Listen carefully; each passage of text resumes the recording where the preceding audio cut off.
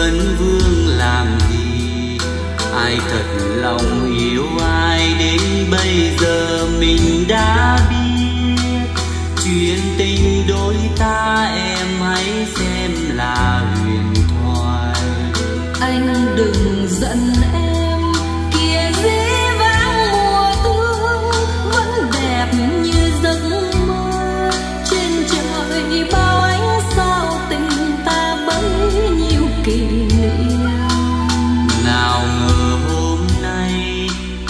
mình chia rẽ đôi ta.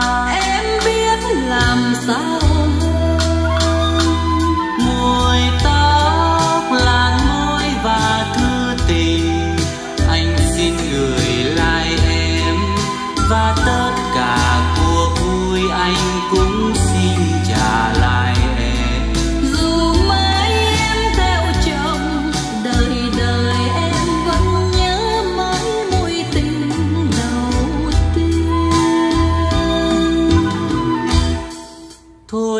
em hãy đi về, khóc chỉ làm buồn thêm trời đã khuya từ lâu, càng vắng đêm tà tư mai này thuyền hóa vui đón em về cùng bên ta.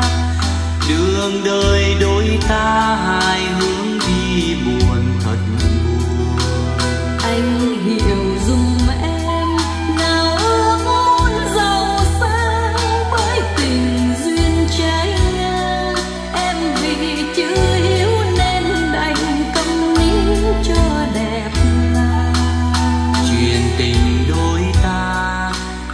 nào ta trăm đắng muôn cay thôi